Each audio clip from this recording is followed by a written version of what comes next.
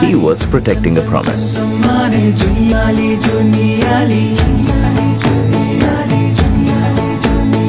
Until it was lost.